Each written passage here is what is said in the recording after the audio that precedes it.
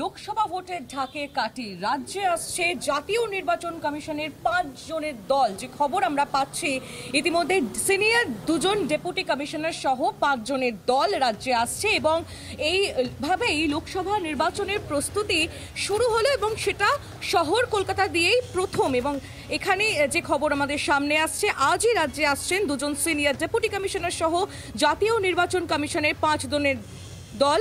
আসছেন ডেপুটি নির্বাচন কমিশনার নীতেশ ব্যাস এবং ধর্মেন্দ্র শর্মা। নীতেশ ব্যাস আসছেন সন্ধ্যায়।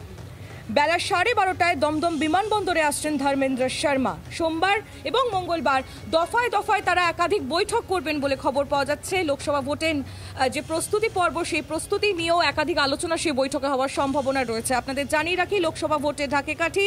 আজ রাজ্যে আসছেন দুজন সিনিয়র ডেপুটি কমিশনার সহ জাতীয় নির্বাচন কমিশনের পাঁচ জনের দল।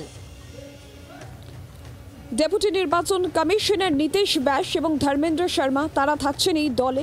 নীতিশ ব্যাস তিনি সন্ধ্যায় আসছেন এবং বেলা সাড়ে বারোটা নাগাদ দমদম বিমানবন্দরে এসে পৌঁছাবেন ধর্মেন্দ্র শর্মা। আর সোমবার বৈঠক করার কথা রয়েছে। কলকাতার হোটেলে তারা বৈঠক করবেন। প্রাথমিক প্রস্তুতি, ভোটের, নির্বাচনের প্রাথমিক প্রস্তুতি নিয়ে আলোচনা। হবে এই বৈঠকে এমনটাই জানতে পারা যাচ্ছে। আজকেই রাজ্যে আসছেন দুজন সিনিয়র ডেপুটি কমিশনার সহ জাতীয় নির্বাচন কমিশনের পাঁচজনের এই দল। সোম এবং মঙ্গলবার দুদিন দফায় দফায় তারা বৈঠক করবেন এবং প্রাথমিকভাবে প্রস্তুতি নিয়ে আলোচনা হবে বলে এখনও পর্যন্ত যে খবর পাওয়া যাচ্ছে। পাঁচজনের এই দলে ডেপুটি কমিশনার, ডেপুটি নির্বাচন কমিশনার নীতেশ ব্যাস এবং ধর্মেন্দ্র শর্মা থাকছেন। সিনিয়র ডেপুটি কমিশনার সহ জাতীয় নির্বাচন কমিশনের পাঁচজনের দল আজকেই এসে পৌঁছবেন রাজ্যে। সোমবার কলকাতার একটি হোটেলে তাদের বৈঠক করার কথা রয়েছে।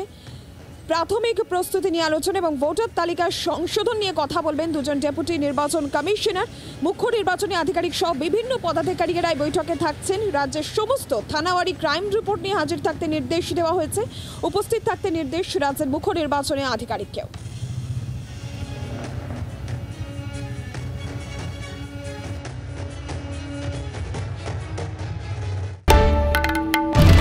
বাংলার আওয়াজ, বাঙালির আবেগ।